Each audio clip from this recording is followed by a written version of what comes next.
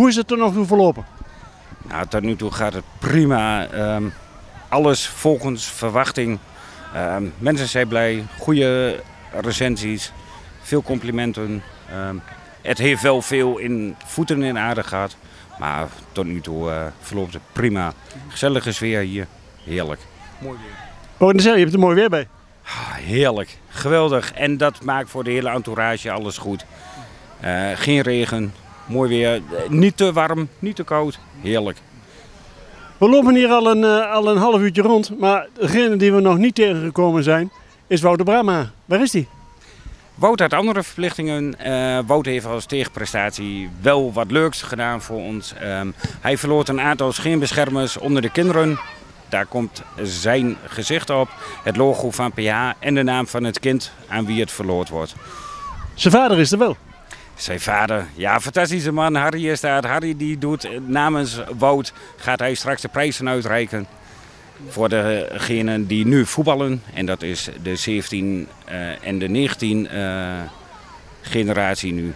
En daar mag hij nu de prijzen voor uitreiken. Fantastisch. Het is een toernooi die eigenlijk al voor de tweede keer gehouden wordt, dacht ik.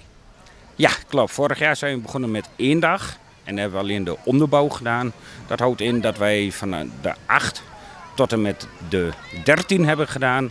En we hebben dit jaar besloten, omdat ook de oudere jongens en dames vroegen van... Goh, is er ook wat voor ons? Toen hebben wij besloten van, hey, dat doen we nu dan over twee dagen. Dan hebben we de hele jeugd, hebben we voor alles hebben we een toernooi. Hoeveel elftallen nemen er deel aan dit toernooi? Er nemen in totaal 108 135 elftallen mee. En eh, waarvan 35 verschillende clubs.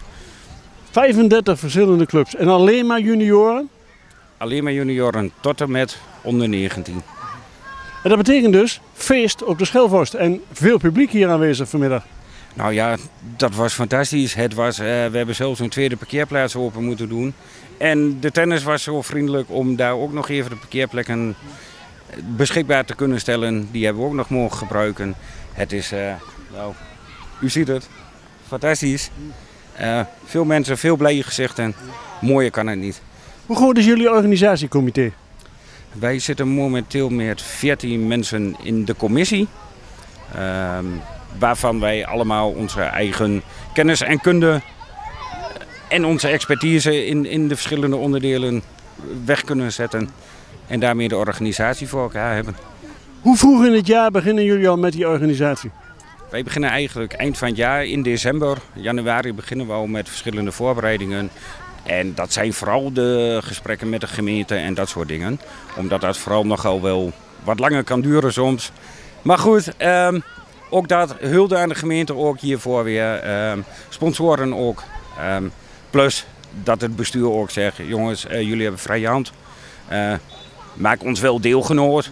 Maar voor de rest, eh, fantastische samenwerking met de hele club. Geweldig. U bent tevreden over de organisatie en over de gang van zaken in deze twee dagen?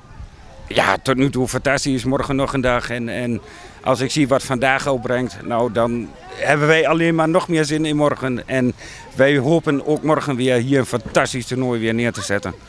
Succes, Kevin. Hey, vriendelijk bedankt.